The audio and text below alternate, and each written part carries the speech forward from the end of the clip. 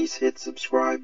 This problem appears at the qualifying examinations for applicants for Japanese Government or MEXT Scholarships 2020. This problem is from the 2020 Physics Questionnaire for the undergraduate scholarships. The answer key and original questions are linked in the description. Problem 4 of Part 1 reads, A sinusoidal wave travels in the positive x direction with a constant speed of 0.30 meters per second. Figure 1-3 shows a snapshot of the wave at t equals 0 seconds as a function of x.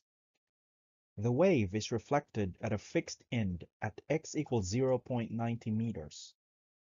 Find an appropriate graph for the wave at t equals 0 seconds from figure 1-4. So figure 1-4 is not here, it's in the next slides. It's just the figures that contain the choices. Let us now consider a few ideas that will be useful in the solution of this problem. First is the idea of wave reflection. So wave reflection of a fixed end means that the reflection is 180 degrees out of phase. What that means is that the wave is flipped vertically if we start with a wave like this, after it reflects off this end, fixed end, it will now look like this. So the negative portion now becomes positive and the positive portion now, beca now becomes negative. And if you think about this in terms of Newton's law, so if you have a string here and you have a fixed end here, when the wave reaches this this boundary here so there is a reaction. So it, it kind of pulls it pulls the boundary upwards. And so the boundary also pulls it downward. And so when it reflects that downward pull is what manifests. So it goes this way.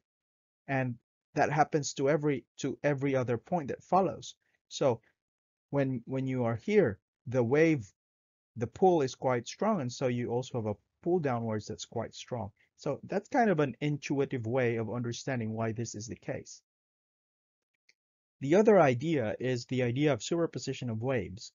This means that if you have two waves, when you try to put them on top of each other, they will just add algebraically. So for example, if we have these two waves here, this is negative here and this is positive here, if they were all of the same absolute values in the y direction here and here, then when you put them on top of each other, they will cancel out and they will become zero. On the other hand, if they had the same sign, so for example, if you had this wave and you add it to itself, then the resulting wave would just be twice the original. That's what we mean by superposition of waves. We just add them algebraically. The problem is asking us to imagine what happens after t equals 2 seconds. So to make it easier for us, I put a star at the beginning of the wave. So that's going to help us track the wave, the motion of the wave. So after 2 seconds, the wave would have moved. By how much? That would be dependent on the amount that is indicated in the problem, that is the speed. So because it moves at 0.30 meters per second, after 2 seconds, it would have moved by this amount, 0.3, which is the speed, times 2 seconds. And now that's 0.6 of a meter. And so after 2 seconds, the star would have been translated 0.6 of a meter. So from here to here. And in fact, the whole wave would have been translated so it moves from here. And then now it becomes like this after two seconds.